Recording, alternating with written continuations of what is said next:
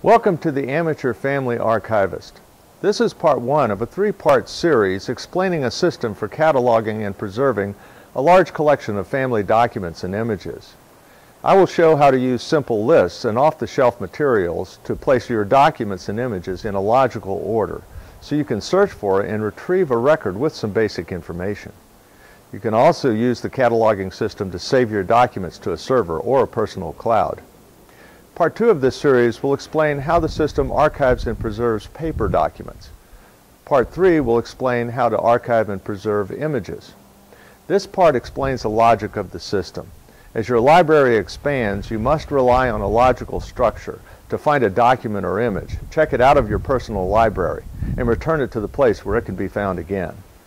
The first principle of the system is a numbering convention to give each piece of paper and image a unique identifier. So let's go over the numbering convention for documents. Begin with a unique identifier, a letter abbreviation representing the author, followed by a date that you assign to the document in order of year, month, and day. For example, a letter by Eula Tharp Smith dated December 19, 1945, could be coded as ETS 1944.12 0.19. Suffixes can be added to prevent duplication of numbers. Multiple documents by the same author on the same day can have an extension 0.01, 0.02, etc. Example, three letters by Eula Tharp Smith dated December 19, 1944 would be coded ETS 1944.12.19, ETS 1944.12.19.01.02, and so on.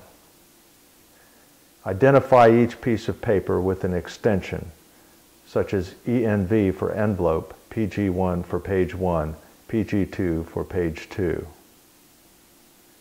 and make sure you list the authors and their abbreviations somewhere and check it routinely. Envelopes and pages in Excel will look like this, using the previous example with the column for author and for the number that follows. The first letter is an envelope and one piece of paper. The second letter is an envelope and two pieces of paper.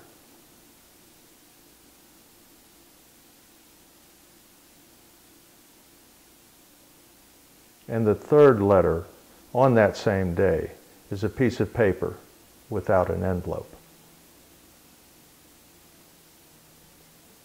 So here is your order of operations for documents.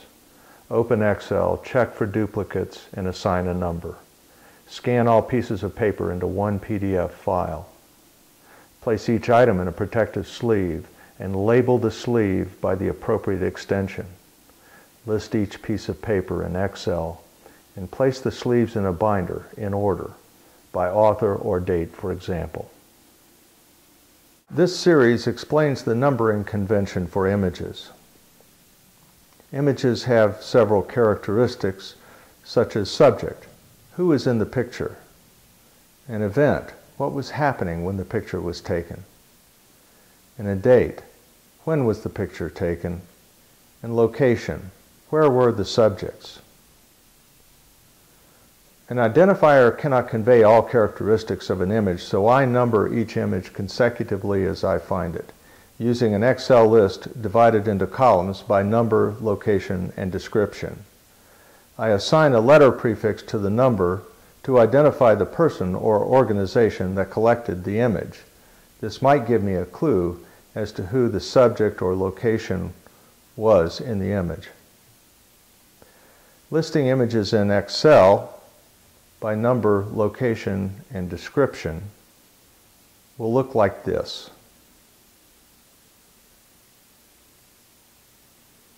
Your description will contain any information that you can add that will be interesting to you or any reader.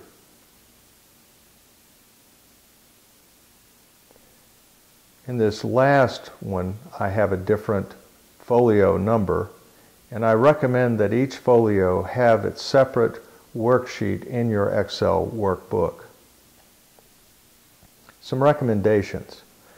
Identify each person in Excel by full name, including maiden name, if known. Avoid using father, mother, or the like. Identify unknown images or subjects as unidentified. I use this to help my search function and find unidentified images that I can review with family members. Save each image to the digital library by the number you assigned. This is the order of operations for images. Open Excel and assign the next available number in the folio. Scan and save the image to the digital library by the assigned number. Enter the information about the image into Excel. Place photos and negatives into protective sleeves and label each according to the number. Finally, place sleeves into binders. Using this system, I have compiled volumes of documents and images. The question remains as to how to use the system to further my family research. I frequently post documents and images to genealogical websites and social media such as Flickr, followed by a citation to the unique identifier that I use in my library. The citation helps me to know where to find the physical or digital item in my library. Another way to use the system is to track issues in your family history with note cards. An issue is something I think is interesting. It can be an event or a line of inquiry. For example, I visited the National Archives in College Park, Maryland to see what I could learn about my father's service in Korea after the end of World War II. A gentleman said I couldn't learn much without knowing the number of his military unit. I plan to return with something like this. Uh, an index card under his Army unit as the issue. Under the title is a list of two documents that contain his unit identification and a photograph of the shoulder patch that he wore. I will have copies of these items on my computer to show in case the National Archives needs more specific information. I will file the card away for future reference. I can create additional cards for other issues such as employment, residence, spouse, etc with a list of images and documents that mention them. This concludes part one of the Amateur Family Archivist. I found the system to be straightforward and workable. On a number of occasions, I have been rewarded for following every step of the process. Thank you for your service to your family and to history. And remember, have fun along the way.